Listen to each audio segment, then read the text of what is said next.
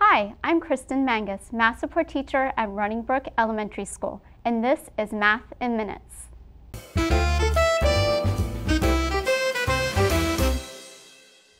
In math class, we teach a variety of concepts like fractions and multiplication. We also want students to think like a mathematician. One of the ways that we do this is to teach students to select and use tools appropriately. For many adults, the only tools that we used in school were calculators and rulers. Today, we use those tools, including a variety of other tools such as number lines, 10 frames, number charts, and counters, as well as many other tools. One tool that can be used in several grades is the number line. In primary grades, we use the number line to compare whole numbers.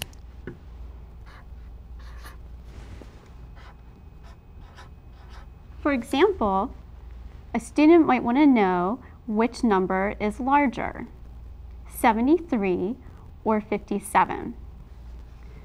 They might use a number line to help them solve this.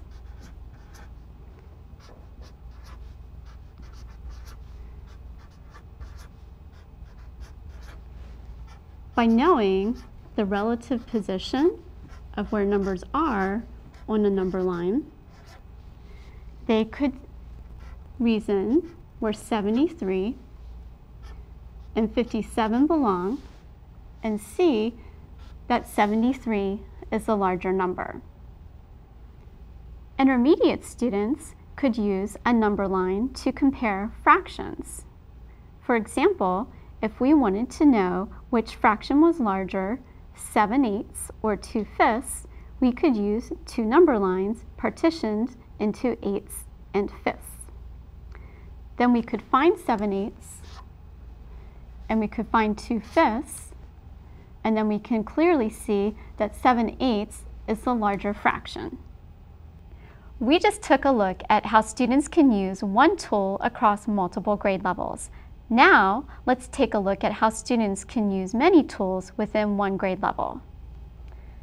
In this problem, we're going to solve 9 plus 7 using Unifix cubes.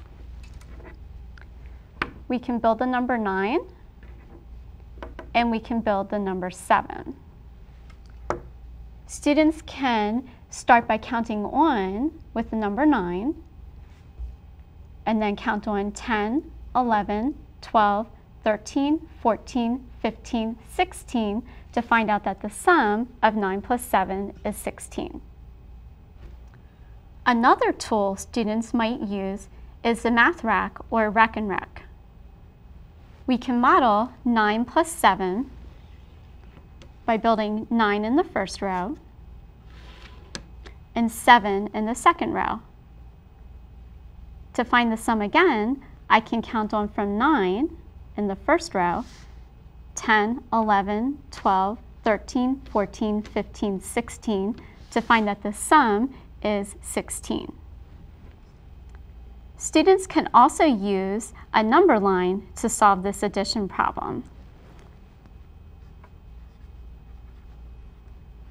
They can start at 9 and count up 7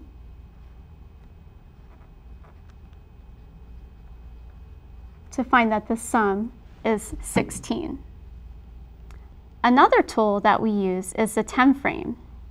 In this example, we're going to use a double 10 frame to model 9 plus 7. I'm going to start by showing 9 on the first 10 frame and 7 on the second 10 frame. And again, I can count on from 9 10, 11, 12, 13, 14, 15, 16 to find out that the sum is 16.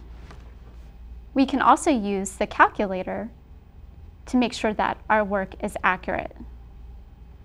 We can type in the expression 9 plus 7 to find that the sum is 16.